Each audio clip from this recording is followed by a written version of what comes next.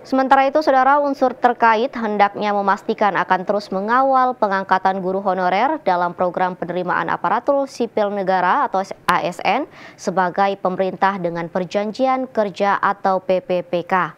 Dalam hal ini tentunya pula Kementerian Pendidikan Kebudayaan, Riset dan Teknologi atau Kemendikbud Ristek memiliki komitmen yang kuat untuk mensejahterakan guru melalui penerimaan ASN PPP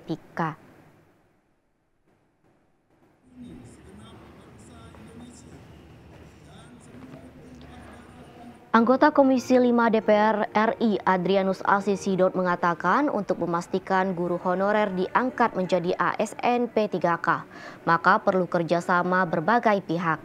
Menurut Asia Asidot, pihaknya juga akan berkoordinasi intensif dengan Kemendikbud Ristek agar misi besar untuk merekrut 1 juta guru melalui program ASN PPPK bisa diwujudkan. Asia Sidot menambahkan rekrutmen ASN PPPK merupakan kebijakan progresif dari pemerintah untuk meningkatkan kesejahteraan para guru. Tentunya langkah pemerintah ini mendapatkan dukungan dari guru honorer. E, ibaratnya diperas tenaganya, lalu negara tidak memperhatikan mereka.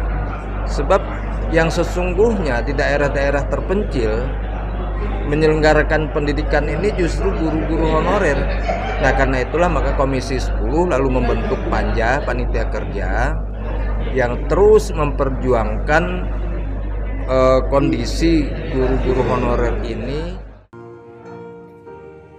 Khusus untuk di Kabupaten Sanggau, saat ini tiap tahun guru status ASN terus bertambah yang pensiun. Hendaknya kondisi ini harus diimbani dengan rekrutmen guru, sehingga tidak terjadi kekosongan guru pada sekolah-sekolah.